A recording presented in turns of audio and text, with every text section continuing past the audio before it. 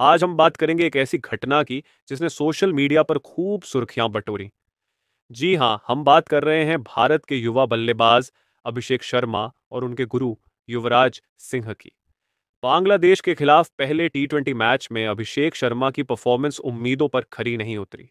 Opening करने आए अभिषेक महज 16 रन बनाकर रन आउट हो गए।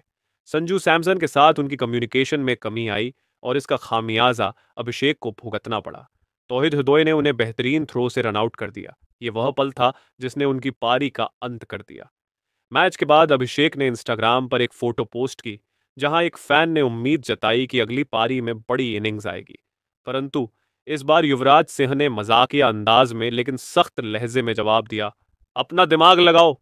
दोस्तों, ये वही युवराज हैं जिन्हें अभिषेक अपना गुरु मानते हैं। कई बार अभिषेक ने अपनी सफलता का श्रेय युवी पाजी को दिया है। लेकिन इस बार युवराज ने सार्वजनिक रूप से अभिषेक की क्लास लगा दी। अभिषेक शर्मा पंजाब से आते हैं और युवराज सिंह के साथ उन्होंने काफ़ी समय बिताया है। कुछ दिनों पहले एक वीडियो वायरल हुआ था, जिसमें युवराज अभिषेक को नेट्स में बल्लेबाजी सिखा रहे थे।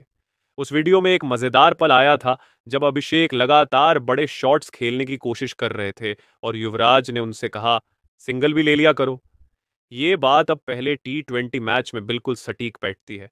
जहाँ अभिषेक रन आउट हुए। अभिषेक का सफ़र अभी शुरू ही हुआ है। जिम्बाब्वे दौरे पर उनका डेब्यू कुछ खास नहीं रहा था, लेकिन उन्होंने जल्द ही वापसी करते हुए शानदार शतक ठोका। अब सवाल यह है कि क्या वह गुरु युवराज की बातों से सीख लेकर अगली पारी में खुद को साबित करेंगे? तो दोस्तों, क्या अभिषेक युवराज की सीख से आगे बढ़ पाएँगे और अपनी अगली पारी में धमाका करेंगे? क्या वह अपनी गलतियों से सीख लेकर भारतीय टीम के भविष्य का सितारा बनेंगे? इस पर आपकी क्या राय है?